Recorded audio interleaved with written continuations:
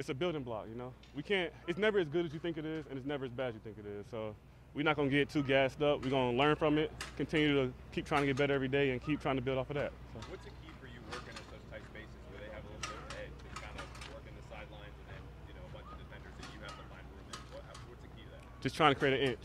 You know, I know I'm gonna get hit when I catch the ball, so creating a little spot for the quarterback to throw the ball into, and then however I catch it, I better hold on for dear life. That's all that matters. So you have a little conversation with one of the officials Mm. after one rep. Is that you just trying to figure out what is going to be called when the games do matter, or Mhm. what's going on in that? one? No, that's exactly what it was. Okay, so just a learning opportunity. You know, this all is a learning opportunity. So, just trying to get as much information as I can, soak it all in. So. Is Anybody? that something that you need to practice to your uh, your, your official exchanges so that you're ready for the regular season? Nah, nah, nah. I, I learned from Jules what to say. I got a couple arguments built up. I'm just waiting to let them go. Seems like Kendrick brings a pretty good energy to the, this team and this group. What's the Mm. experience just been like working with him and, and kind of being with him behind the scenes?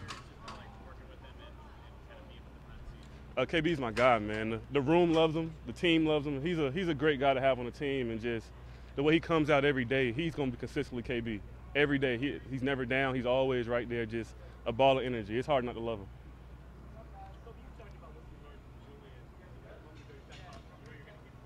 Going to.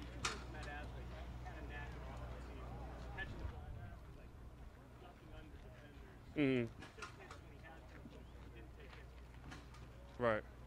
It was more so, not necessarily what I learned, but what I admired about Jules is that he played with no fear. You know, it didn't matter what situation you throw him into, he'd do his best to go make that play. So, just trying to emulate that honestly, and not necessarily trying to be exactly like him, but he kind of set the standard as far as toughness for me last year. So just trying to come out every day and just match that intensity.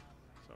What did you learn about yourself as your game goes as you went up against the class? You were a little bit different than the guys you Mm.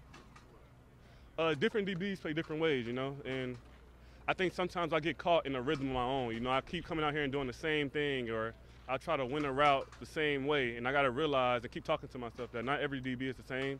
So being able to switch it up and give a guy something different this time is something I definitely need to keep working on.